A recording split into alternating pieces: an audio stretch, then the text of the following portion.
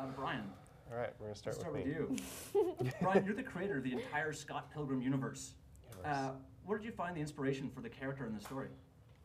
I kind of just grew out of my own life. I lived in Toronto. I was in my early 20s. I was in a band, and uh, I wanted to just turn my life into something more exciting. Because you know, I really like video games. I really like Japanese comics and uh, and movies, and I wanted to just do something that was like that, but that also reflected my own life and was grounded in my regular Canadian Toronto reality.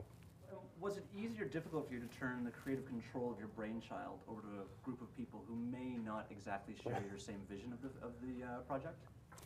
Uh, it was easy to, to give it to the right person who happened to be uh, Edgar Wright, you know.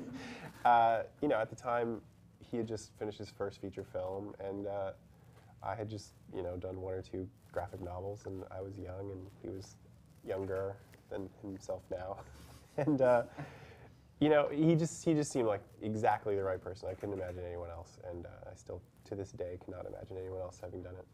And how did the movie adaptation of your graphic novels live up to your expectations? Uh, I think it, it surpassed my expectations in uh, pretty much every regard. You know, Edgar is just, he's an, he's an auteur, he's a genius in in some way that I can't, I can't really articulate. and, uh, you know, he, he just he he he visualized it in ways that I could not even begin to imagine. And now I've seen them, and it blew my mind.